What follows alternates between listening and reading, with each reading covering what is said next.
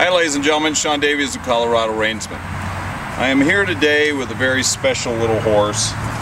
This is Tahota, and Tahota came from Colorado Horse Rescue Network here. They're a, a great network of folks that are, you know, helping horses out in the local area. And Tahota was pulled out of the local auction as a three-year-old stallion, and we're thinking either, you know, an appendix, quarter horse, or thoroughbred. Um, he's been gelded now just a few weeks ago. When I got the call about this horse, um, from Whitney Applegate, who's uh, one of the primary folks in that. She said she got a horse that might be a little bit scary, and uh, she wanted me to come out and take a look at him. Well, I came out and looked at this horse, and when I saw him, he had scars and rope burns all over his front legs. He had a diagonal scar and scabby rope burn right down diagonally above his uh, left hind hock. You can see that he has a very short chopped tail. He also has kind of a butchered bridle path up here. And when I took a look at this horse, took me about two minutes to tell Whitney that my feeling is you have a horse that was used in the uh, traditional Mexican rodeo as a tripping horse. So for those of you who do not know what uh, tripping horses are, they are horses that have been used in uh, the traditional Mexican rodeo um, as uh, horses that the big loop ropers are throwing ropes either around the front legs or around their neck and coming around behind them and jerking their legs out. And the whole idea is to knock that horse down. And for some reason, anybody, I say anybody who loves horses that is involved in that activity, um, I don't know what to say about them. I just, I shake my head at it because I could never imagine doing that myself. Now this guy, he was only three, had his whole life ahead of him. We're surprised right now this horse will even let people touch him. He was very fearful. Um, he's still very fearful about certain things. So I'm going to work with, uh, with him for the first time today. I did about five minutes the other day just get an idea. I let him settle in here. Um, as you see, he's also fairly thin, so we've been feeding him pretty good, got him on a fat supplement. I actually started him on um, an ulcer medication because I have a feeling this horse has probably uh, got ulcers among other things. He moves around pretty good. I think he'll be due for some chiropractic. You know, when you get your legs jerked out from underneath him, you smash to the ground as a good sized horse. Very good chance this horse is just all out of whack somewhere. So we're probably going to get quite a few things done. Um, Colorado Horse Rescue Rescue Network has gotten a training grant for him, but any other donations that go towards him, I will put a, uh, a, little deal at the end of the video that if you'd like to donate towards his care and chiropractic and hoof care and some supplements for him, I'm going to put that there for you. Um, he's a sweet horse, and I'm hoping that I can, you know, we've got him for about four months, so I'm going to hope that I can give this horse you know, enough of a, a mindset that not everybody's going to be mean to him, not everybody's going to do crazy stuff that hurts him. I'm surprised he's sound. They pulled another horse the next week that was broken, had a, a fractured hock and had to be put down. Um, I think he's got a good future if he if he gets some good work. So you know, we're going to do just a little bit of moving around now. So I'm going to pick up my stick here, and you're going to notice some things that, remember that most of these ropes are coming from low up on his legs. So he gets a little nervous about things down low. This horse is also three years old. The other thing that I kind of thought that this horse might have had done was he also could have been a short track racehorse He did not like to get in trailers. He was freaking out about trailers a little bit. Um, he did load for me fine, but uh, around here they have little short track race courses that are, you know, non-sanctioned. They do a lot of betting there. And this horse could have been run on the track as a three-year-old stud, and he may not have been fast enough. This horse could have been run on that short track racetrack, and he uh, probably was forced into some, uh, you know, four horse or six horse starting gates, and he just didn't like that anymore. And he either wouldn't get in a gate or maybe he wasn't fast enough. So then they sold him to the Mexican rodeo guys and or big loop ropers as they like to call themselves. Um, they say that, that, that tripping is a traditional sport and I, I sometimes hate that word tradition. A lot of unpleasant things are done in the, uh, you know, under the uh, guise of tradition. So I think that's a tradition that we could stop if we have any kind of humanity to ourselves at all. But we're going to move him around, see what he can do. See how afraid he is. Can I get him to overcome?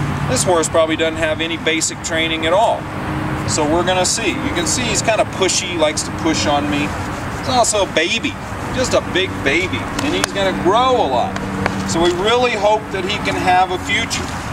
So I'm gonna start working with him here in a second, so stay tuned. So I'm always here with my little horseman stick, my little cheapy lightweight stick and my target bag. And I showed this to him the other day.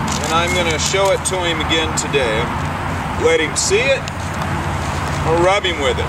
So for five minutes, I moved this horse around the other day and already he's better about this. You can see right there when I extended it out, when I'm rubbing him, he got a little nervous. But see, he's moving his feet and I'm rubbing him and he went, oh, well that's not killing me. I will let him move his feet and rub him.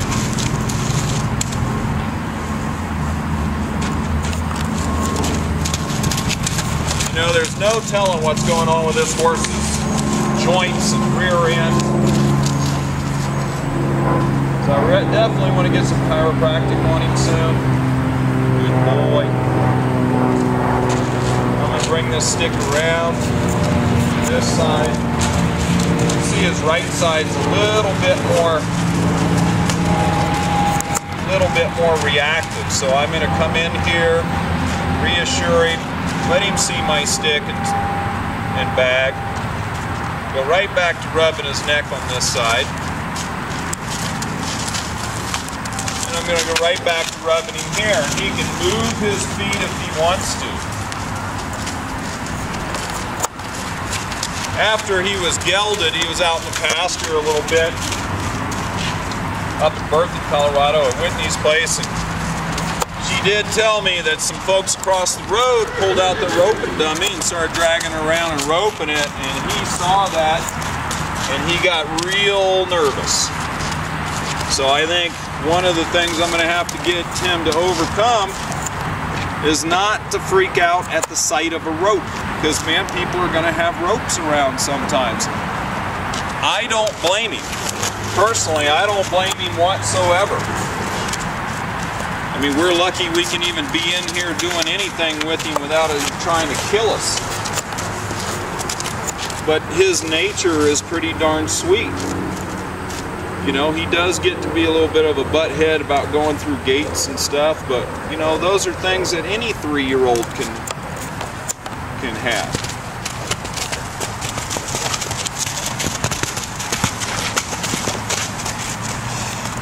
So I switch sides there.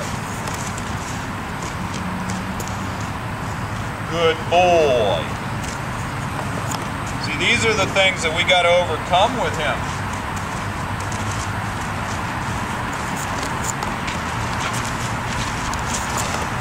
I got to make sure he doesn't run me over. That's switching from one side to another.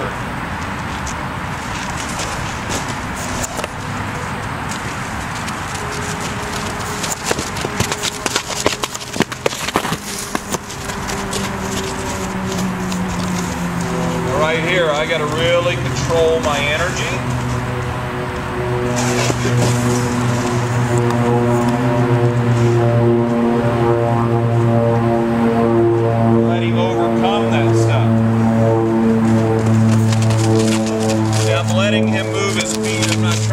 That lead rope hard and fast right now.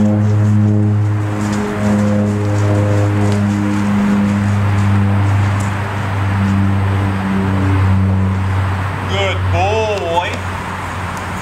Good boy. Now things low really bothering. But if I can take it away, maybe it's not such a big deal. This first month with this horse, a lot of this first month is going to be just trying to convince him that everything around is not going to kill him. Put it on this side. Put it on that side. So I want to be careful because if he strikes and stomps at it, then I don't want to be in the way. Now, I'm going to start teaching him some basic things. Stop. Back up. That's good enough. Reward. Who's a good boy? This little guy, there's no difference dealing with him than dealing with a, a, a child that's been horribly physically abused and battered. You've got to deal with the psyche just as much as the physical part. Now, but I also want to say this. I'm not going to let this horse push me around. I'm not going to let him get stupid. I'm going to put energy on him that says, if I need you to get back, you must get back. If I want you to come to me, I want you to come to me and stop. Just because they're abused, don't treat them like it's uh, unicorns and flowers because you're not doing them any favors. You can be kind to them. We are kind to him, but when it comes to training, I've got to prepare him for a future with people. And that's the important part got to learn that he does not get to freak out all the time. He does not get to run you over. He does not get to rear up and land on your head. Those things, he'll end up in an unpleasant place again or being put down. And we don't want either one of them. Um, this rescue network's not going to allow him to get in an unpleasant place, but if he turned out to be a dangerous horse, then the kindest thing for him would be to euthanize him. So we're not going to go there. We're going to get him where he needs to be. Now right now I'm just getting him used to moving around. So I'm going to raise my stick right here and let him move that way. And I'm going to change it. And I'm going to ask him to move this way. And he kind of braces right there. So I'm going to give him a doorway out. There we go. And he took the doorway.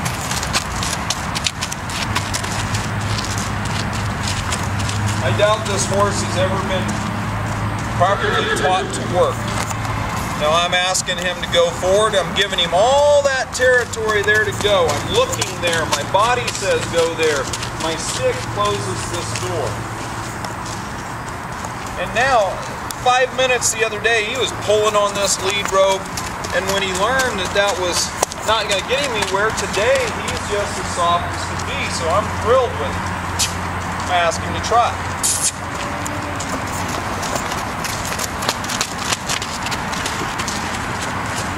I'm going to ask him to walk. I'm magical. It's my Harry Potter wand. I'm going to ask him to try. Stand up tall. Give him one kiss. Raise my flag a little bit. Give me one kiss. Good boy. Good boy.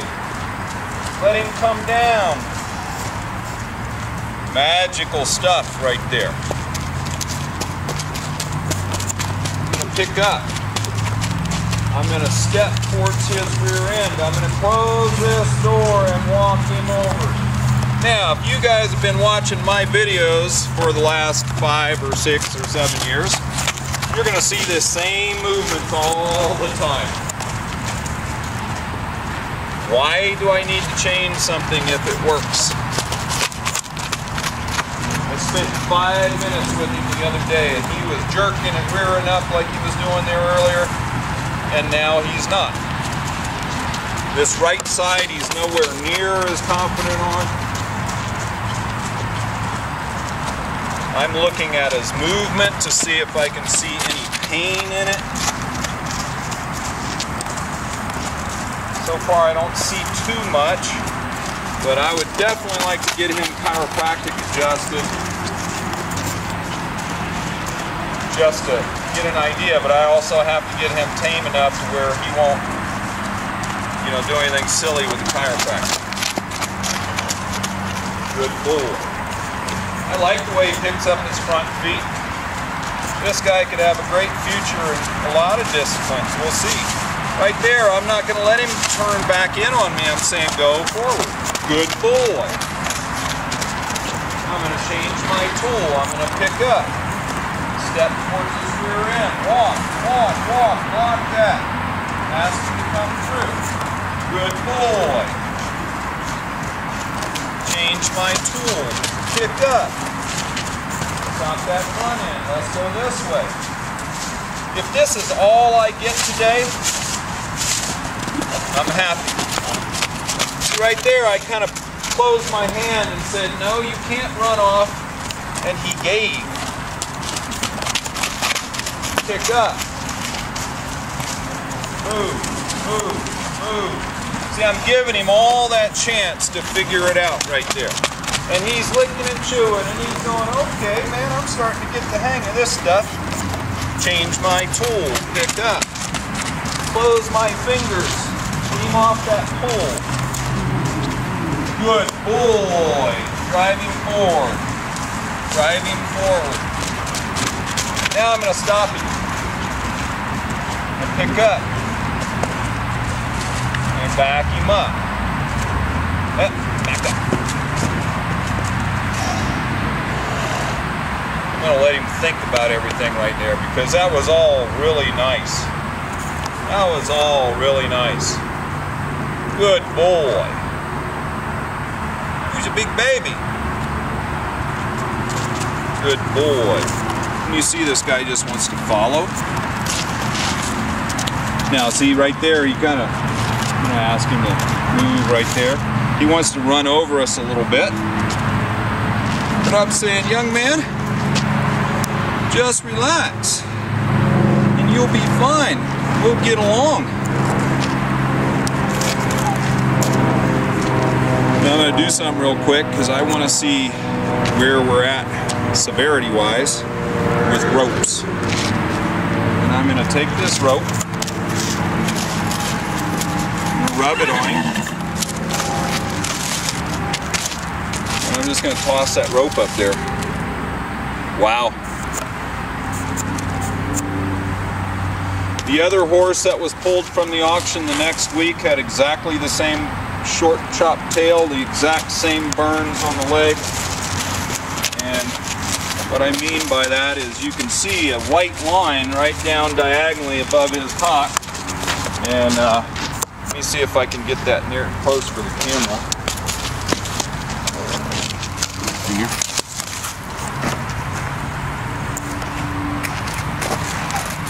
May be able to see that diagonal white line. That was one big wide scab from a rope burn where they rope their neck, ride their horse around behind him, and trip those legs out from underneath the horse. Now traditionally that's how they used to catch wild horses in, in Mexico. But that's not what we're doing here. They're doing this for fun and the crowd screams, search on YouTube for uh, charreada big loop roping or horse tripping and you'll see some unpleasant videos of what this horse went through. So I'm going to ask him, does a rope around his leg bother him? You can see right there. You can see that reaction. guess what? I have to get him where that won't be such a reaction. Good boy. See, this horse already understands that I'm not trying to hurt him. Good boy. That's all I'm going to do with that today. This is our first time really doing some work. So I don't want to push him too hard. We don't want to stress him out. It's kind of why I, uh, you can see this right side. So if they were roping his neck and coming around that side, this is where the ropes would hit him. And he does have some scars up on his shoulders where he probably fell down on the ground. How this horse is walking, I don't know, because most of them are broken up. You can see these scrapes and scars right there on his shoulders, and I think a lot of that may have been from hitting the ground.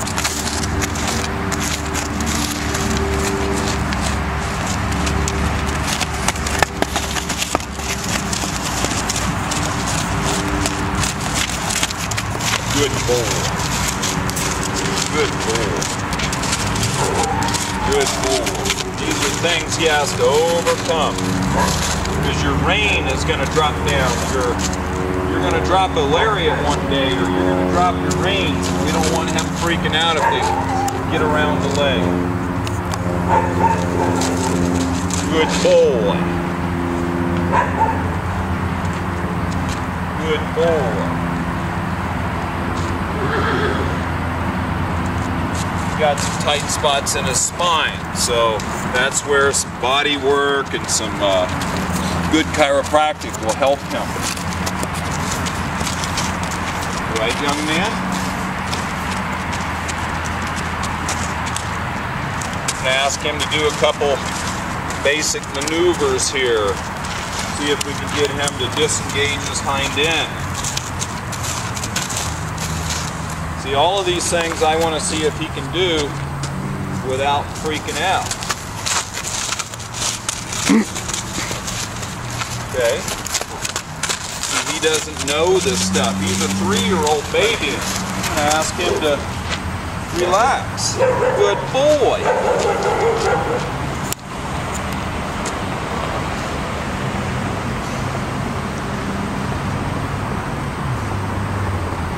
I'm going to do that one more time on this side.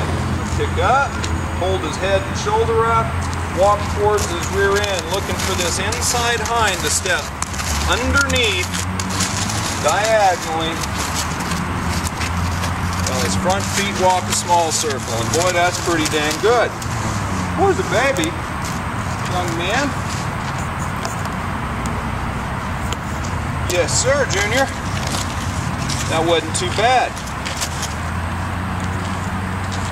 Oh, now don't be, see he likes to block that right side. He's really a little nervous about this right side, so we're gonna have to really overcome things.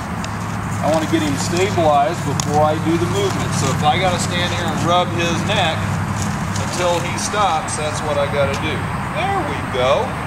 I'm asking to drive forward and underneath. There's one, there's two, there's three. I'm gonna let him stop right there. Who's a big boy? Who's a big boy? I'm going to pet the side that I'm working there. A lot of times I'll pet that other side because I want his head to come through eventually.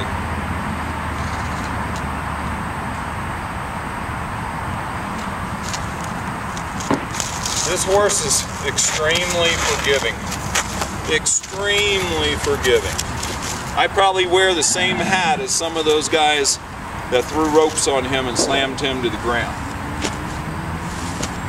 How he even looks at me and lets me get in a round pen with him is quite extraordinary.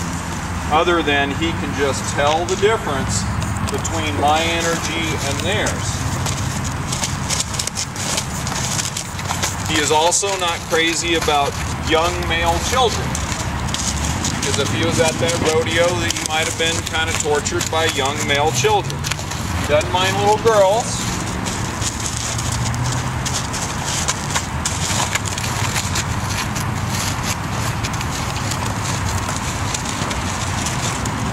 Boy. Good boy. Boy, he's just doing everything I ask him to do. But there are going to be things that freak him out. I'm going to ask him to see if he can come up here and go laterally. Let's see if he'll learn. So right there, he wants to push through. Now, I would be doing him a disservice if I let him push through me right there. Now I'm going to ask him to step over. There's one. There's two. Starting his dressage career. That's good enough for me right there. Good boy.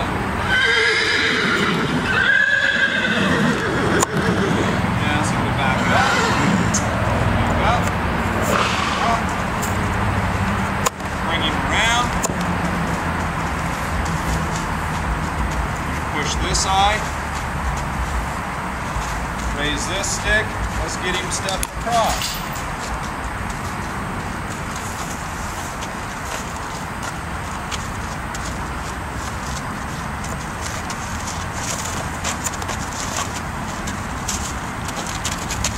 Can't let him turn away from me. There we go. Get over. Get over. There's one. There's two. Going to let him go when he reacts. I just want him to step diagonally. He's kind of sidestepping. There's one.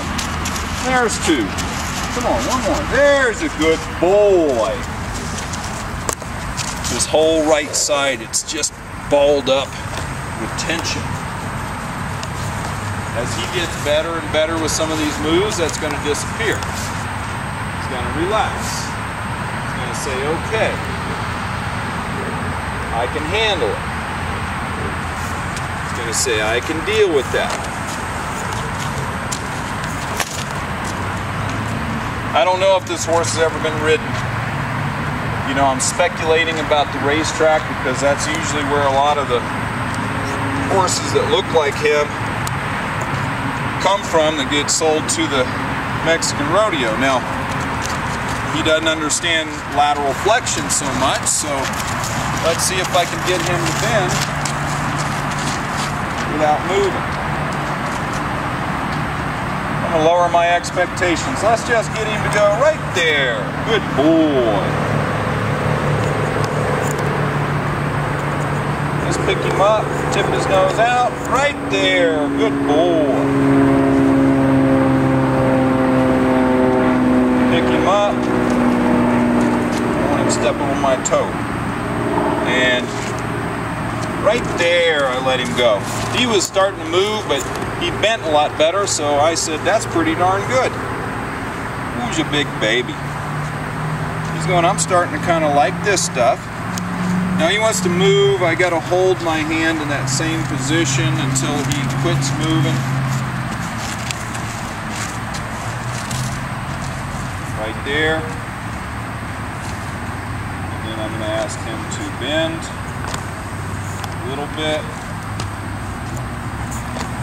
Hold for a second until he gives. He backs up. I'm going to go with him.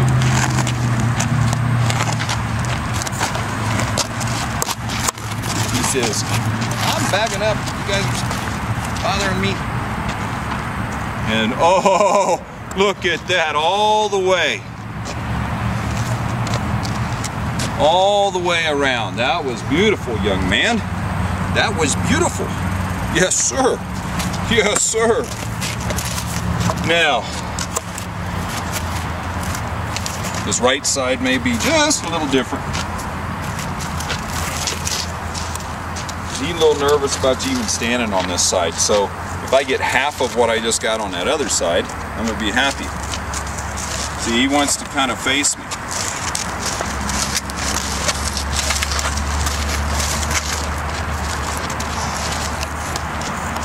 With these mentally and physically scarred horses, you have to be calmer than you've ever been in your life.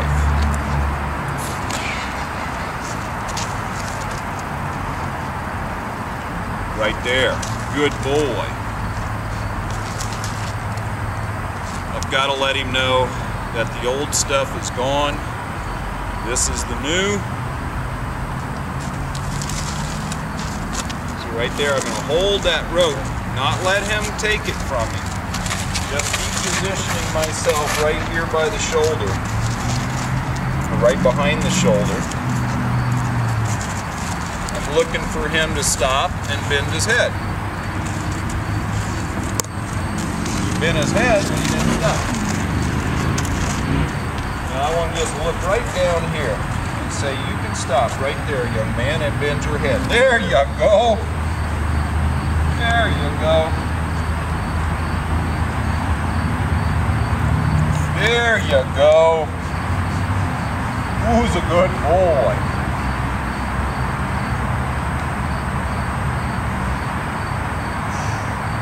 He's hauling on me right there, saying, don't pull on me, just give to that pressure. There you go. And that's what I'm looking for. Who's a big baby man?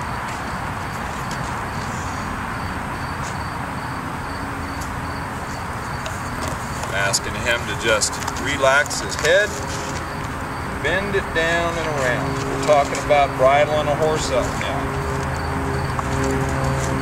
Going, oh, I don't know if I like that.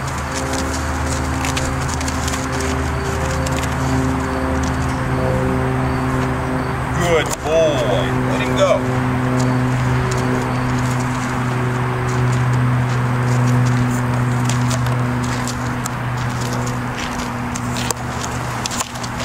So I'm not going to turn him loose today in the round pen free because I've gotten everything I've asked this horse to do.